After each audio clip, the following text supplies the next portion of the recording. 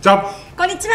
はいさあ豊さん、はいまだまだ WBC 熱が収まらないですね。いやみんな次へ行きたくないんだよねいやわかります多分ね余韻に浸りたいんだと思うよできればそうですよね。WBC ロスいや結構多い半です。端ないよなはい、結構多いです。うんあの選手たちもインスタグラムで例えばはい山本由伸投手が、ダルさんロスですって言ったらダルビッシュ投手がそれに対して俺も泣いてるよって返してたり選手もそうなんまあです、いいチームだったからな。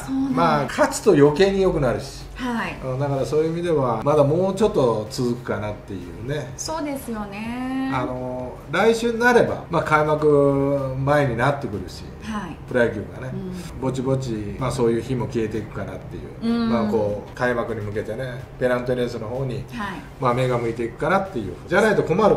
そうですよね。いやいや本当に。シーズンが始まるのでそうそうそうそう。そっちを今度盛り上げていかないとって。いやそれともう3年後のことを考えなきゃいけないもう始まってるんでいやもうすね始まってる戦いは。となるもうチェとコなんかすごいと思うよ。あのアイスホッケーのスティックをバットに変えてるっていう話や。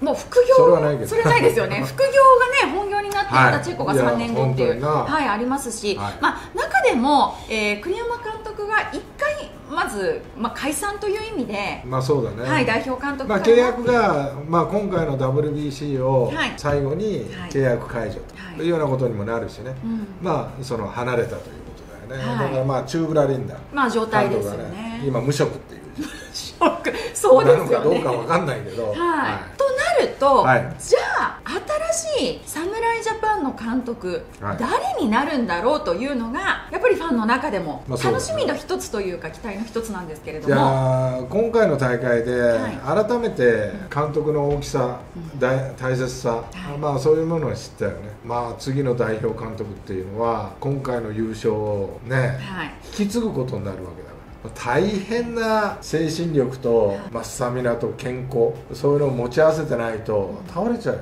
いや本当疲労と辛労で倒れちゃいますよね。いやもう倒れ毛が抜けるぐらいだったら大丈夫だけどあ あの倒れるっていうのは困るから。ねいやそうですね。あ気が抜けるじゃなくて毛が抜けるぐらいだったら。毛が抜けるぐらいだったら大丈夫。大丈夫ですね、まだ。で、やっぱりその、今回、やっぱダルビッシュ投手だったりとか、あと大谷選手を海外組も呼べるという、その力も、まあ人脈だよな。人脈も持ってないとということがすごく分かったので、まあそうだね。まあそれも含めて、はい。じゃあ、一体次の監督、誰になるんだろうというのを、伊達さんに大予想してもらいます。なんでそんな力んで。んのわかんねえよ。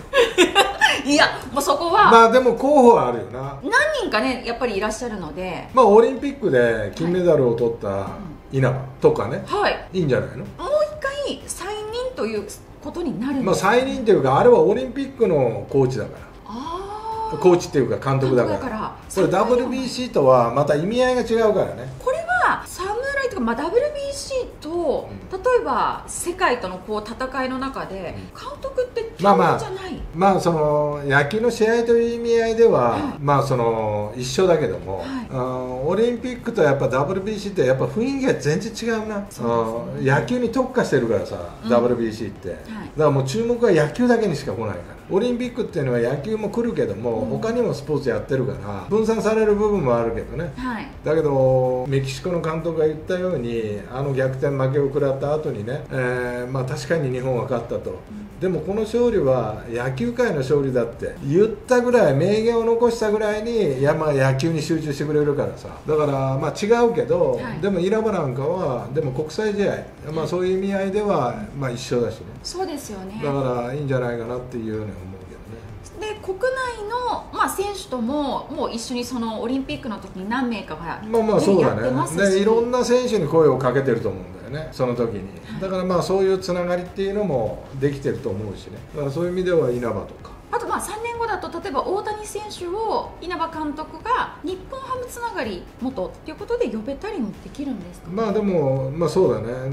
ただ大谷は日本ハムつながりとかいうよりもこの WBC のはい。世界大会という大会をね権威あるものにもっとしていきたいうん。まあ今年権威あるものにだんだんだんだんこうなっていってるよね、はい。やっぱりそれにはね歴史がやっぱり必要なんだよね。権威あるっていう。次の大会の方が権威をもっとあるだろうし、はい。だからそういう意味では大谷も出てくれるだろうしね、まあ、野球という意味では野球には恩返しをするというか、はい。野球をもっと高いステータスにするためにね世界的にするために。だからチェコとかイタリアだとかオランダだとかまあオランダはオランダ領だけどね。まあヨーロッパにも広がっていけばいいな。さあそこですよね、まあ。そうだといいですよね、うん。ということはじゃあ大谷選手は監督関係なくきっと来てくれるであろうと。ると思う、う。ん。だから大谷がイエスって言ったら、はい。多分ヌートバーも OK みたいあ一緒にまた。でももしかしたら3人がアメリカ代表になってるかもしれない。あそこはね着ないって。あそアメリカ代表でもう俺は着るんだったら日本だよあ嬉しいですね。なあうん。嬉しいよな。心意気は。じゃあ稲葉監お督母さんが許さないお母さん何言ってんの？お母さん。あれだけ日本によくしてもらったのに何？アメリカに行くって。敵にすんの？みたいな。そうかもしれないですね。うん。お母さんの勢いがあるかもしれないですけど。夫婦離婚問題になったら困る。そうですね。家庭不安につながっちゃうねお父さん優しそうな人だよな。ねえ。良さそうな家族でしたけども、まあじゃあ稲葉監督というのもあると。一つ、まあ、経験者だしね。そうですよね。あとはね、うん。原監督。でも今今来てるけど、はい。あと来ても12年だと思うんだよ、まあ、そうなってくると3年後っていうのはユニフォームを脱いだ状態でそこに集中できる。そう分かんないよ、はい。分かんないけどやっぱりこう優勝監督だからさ。そうですよね。で1回優勝した王さんの時に次いで原監督だった。これ相当なプレッシャーだったと思うんだよ。そのプレッシャーを知ってる原監督がやるとまあいいかなえば選手を例えば呼ぶというその力とか言葉っていうのもやっぱ原監督はまああるよね多分ね、うんただその1チームの監督をやってるからで今ももう時代も変わってきてるし、まあ、そこら辺はちょっと心配な部分ではあるけどもやっぱ原監督の功績だとか原監督の監督としての功績だとか、まあ、そういうのを見たら口説き落とす文句もうん。やっぱ多分分かってると思うしだからまあそこら辺では人は集まってくるから。まあ、あとはコーチ陣とかも、まあ、原監督の人脈だったりとかつながりで呼べるというか、まあ、コーチも大切だけどやっぱ監督の器と人間性だな。コーチはあんま関係ないような気がする。いや補佐役で。やっぱ手伝いよ、はい。例えばノック打ったり何を教えるのっていう。あまあそうですね。やいやだって教えなくていいやつ呼んでんだか全員。らもう気分よくやらせればいいですね。そうそうそうそう。ということは、まあ、原監督も第2回大会で優勝した監督という意味ではやっぱり手腕もあるしと。うんそれと原監督がユニフォームをもう今後一切着ないというけじめとすれば俺はなんか WBC がいいかなっていう最後世界一、まあまあその巨人チームだけじゃなくてね、はい。まあ、世界で来てで終わる。ユニフォームから身を引くと、その場合は巨人の監督が終わってからまあ、そういうことが決まっとけば、うん。1年前に終わる。よあーまあそ終わうです。ってもいいと思うよ、うん、もう他には例えばは古田さん。い、古田ね。どうですか古田さん。今回あの解説もされてましたしやっぱり豊かな経験持ってますし。まあそうだね、はい。まあここら辺がどうなのかね。どうなんですか？いや代表に呼ばれないんだよぜずーっと。そうなんまあ、呼ばれて断ってんのかもわからないけども、はい。まあ、古田ぐらいだったら例えば、まあ、誰かの下でちょっとヘッドコーチかなんかやってくれないかとか監督はならないにしてもね、うん。一回来とくとさもう次あ古田でいいんじゃないってなるけどだからそこら辺がちょっと見えないところなんで俺監督しかやらないっていうようなスタンスだとやっぱ声かけづらいよね。例えば国母さんが以前監督とかの経験なくジャパンの監督されましたけど、ん。そういうこともあるっていうのいはないですやかね？ーもうなんて言うんだろうな。そうなってくると俺はやっぱこうある程度の経験ユニフォームの経験があるとかそうした方がいいと思う。まあ古田なんかあるけどね。ね。あるけどプレイングマネージャーだったでしょだからまあ古田なんかはこういいと思うけどそうですよね。だからそこら辺が分からないよね。まだ見えてこない。確かにあの古田さん自身の意思っていうのもねもちろんまあもちろんあるよね。あるでしょうし、じゃあとなってくると例えば藤川球児さんだったりとか鳥谷さんとか、まあ藤川も鳥谷もはい。若い、まあ、若若いからダメだって言ってるんじゃないけどもある程度ちょっと離れてる方がいいんじゃないのかなっていうのとやっぱり一回ユニフォーム着てると着ないじゃ、はい。やっぱりいろいろ違うんだよね。チームを回し方っていうのは。やっぱねこれはね経験してないとわからない部分もあるしそこら辺で戸惑っててほしくないんだよね。チームを作りました。スムーズに回れるように。まあそうやるのがね。だから一回コーチとかやって鳥谷とか藤川がね、はい。コーチとかやってで監督になると。か代表監督になるとか。まあそういう道はあるだろうけども。一回監督じゃなくてもコーチでもなっとけばっていう。まあそうだね。やっぱりね経験はやっぱものを言うよ。国際大会会ですもんねいきなり、うん、だから今回大会ダルビッシュだけしか優勝経験がなくてそのダルビッシュがその経験をもとにまたメジャーの使ったものをもとにこうみんなをまとめていったというね。だからそういう意味ではやっぱこう経験っていうのはね、うん、ある程度は必要かなって思う。そうですよね。経験さえすれば藤川さんなんか本当にあのなんだ、ね、メジャーも経験されてますし、まあまあね、人脈もありますし、はいはい、い。いかなっていうふうに思いますしね、うん、あとはやっぱりこう世界のイチロー選手、まあ、イチローもいるけど、はい、オファーがもしかしてたら行っててイチローさんが止めてるってこともあるでしょうし、うん、まあ、イチローっていうのは名前はあるかもわかんないけど、はい、やっぱ日本球界に対してその人脈を持ってるかどうかそれは偉大な選手だよ、まあ、偉大な選手から言われたら断れないっていうのは、でも昔の話でさ、はい、今全然違うからね。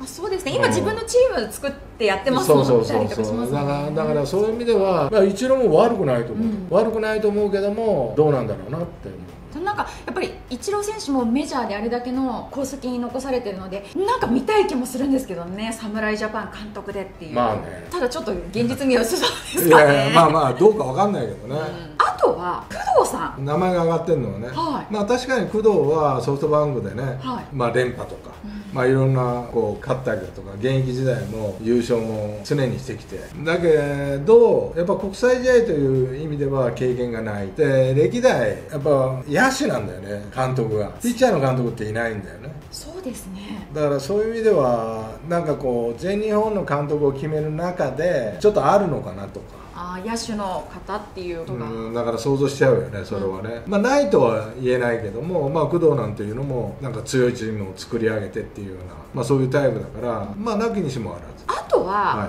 あとあとって多いございますよ。高津監督現役ですけど。いや俺はピッチャーで監督を今まで歴代いない。であるならば高津監督なんかいいと思う。いいですよね、うん、これはまあ今現在やっぱりヤクルトの監督ですが、うん、これはちょっと兼任っていうのは難しい。い兼任は難しいよ。でもこれだけやっぱ強いチームをね作り上げててそれで、まあ、高津監督がやる「お村上来いよ力貸せ」って言ったら、もう絶対来るよね。いや来ますよね、うん、もう。だから、まあ、そこら辺はね村上に集まる人間もいるだろうし、はい、あの高津監督なんかすごくいいと思うけどこれヤクルトが手放さないと思う高津監督がしばらく。だってあれだけの功績を残しね。やっぱうまいもん。あ戦術。あの戦術というか選手の使い方とかさ、うん、うまいからそれはヤクルトが離さなくてそこまでいかないと思う。ちょっとじゃあ3年後というとキンキンすぎて無理かな。いや3年後っていうのはまだユニフォーム着てるような気がする。しかも3年後といってもその前の対外試合とかもあるのでもうそこから監督として動かなきゃいけないってなると、うん、やっぱりちょっと難しい。まあ、まあ、コーチに任してね。あの国行って見ててくれとか、まあ、いろんなことはできるとは思うけど、はい、やっぱ本人確認っていうのがね絶対必要だと思うし。だからやっぱできないと断るだろうねそうです、ね、まあ、そうなった時にはね。そうですね、はい、同じ高つながりで、はい、えー、高橋由伸さん由伸ね、はい、いや由伸ないことはないと思うないことはないと思うけども由伸が切るかどうかね、まあ、巨人の監督もね、まあ、数年間されてましたけれども、うん、まあまあでも次の監督候補でもあるしね。あ巨人の。あだからそこそこで代表のユニフォームを着るとなんか行って遅れるみたいなさ。そういうことも駆け引きの中に多分あると思うん代表ここここで来ちゃうといやあそこのユニフォームが着れなくなるとかさチームの、うん、まあ、そういうこともあるんでまあ、ここら辺はちょっとわからないいろいろまあ高橋由伸のその性格とかね、はい、ああいうのを見ると、まあ、知ってるけど愛に動かないだろうなと思うまあ、いろいろ考えるでしょうね。考えるね。あとは井端さん。ああ、井端な。はい。どうなんだろうね。うん今ちゃんはやるとしたら一回代表のコーチをやってそれでやりたいっていう井端って結構慎重派だしさ。で今アンダー12の監督をやってるけどね、はい、あのそういう NPP にものすごく貢献してる男だけどもあいつの性格からすると1回ユニフォームを着させてくれと。で守備コーチだったら守備コーチで。そっからの監督だったら受けるかも分かんないけどいけない監督はそこは受けないと。一回まあコーチになりちょっと荷が重すぎるって、多分言うんじゃないかなっていうような気がするすごく慎重、ね、慎重慎重あと宮本慎也さん。WBC 代表にもまあまああのキャプテンだし、はい。アテネの時キャプテンだったし、まあ、いろんなところでキャプテンやってきたけどもこれはどうなのかなと思うよね。まあ、ヤクルトのコーチもされているので、うん。まあ、条件的にも監督ってなるといい。まあできないことはないと思うよね。あとはどういったコーチだったりとか選手をっていう、まあそうだね。まあ面白いとは思うけどね、うん。まあ、どういう監督になるかも見てみたいとは思うけど。そうですよね、うん。やっぱでも今挙げた中でもどの方も帯に短したすきに流しだったりとか。いやまあ背景が見えないからね。そうなんですよね、うん。例えば稲葉だって今 GM をほっぱらかしにして、はい。ね、代表の監督のユニフォーム着れるかとか、まあ、原監督だって本当に3年後ユニフォーム脱いでんのかとか、まあ、抽象がついてるよね。そうなんです、うん。だからまあフリーなのは工藤とかはい。古田とか、うん。まあ、イチローもあのマリナーズかなんかの、はい。ね、コーチかなんか、ね。巡回コーチかなんかでしょ、はい。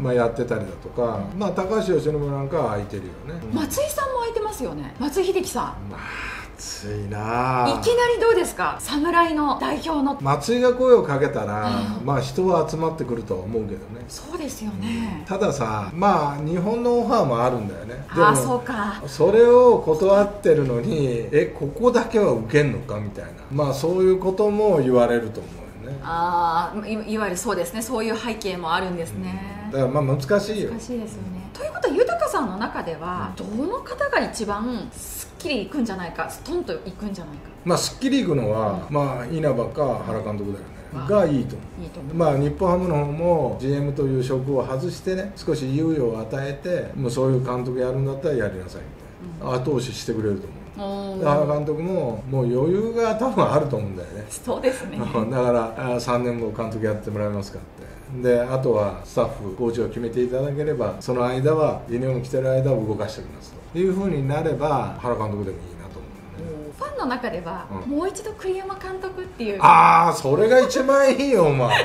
お前なんでそれ言わないんだよ。いや一番最後になっちゃったんですけどああそう。いや栗山監督はもう一度やってくれってお願いすればいいよ。それが一番ストンと落ちる。あやっぱそこなんですね。やっぱそこだよ。当たり前だよお前。長々となっちゃいましたいがやもうこれだけの功績を残してて、はい。そら栗山監督、やっぱああいう人脈、はい。あの言葉遣いあの選手ファーストで背中を押していった、はい。ね、選手を立てる。そうだな栗山しかできないような、まあ、そんな感じもするしね、そうですね。栗山監督でいいと思うよ。俺はねうん、ちょっと休んでまた監督にっていう。まあそうだね、はい、まああの我々のチャンネルでは、そこ的にじゃあ栗山監督がもう一回やったらいいんじゃないかなそれが一番ストンといいストンとなりましたが、まあ、皆さんがはい考える次期侍ジャパンの監督、ぜひコメント欄に書いていただければなとはい。思います。俺の名前出さなかったな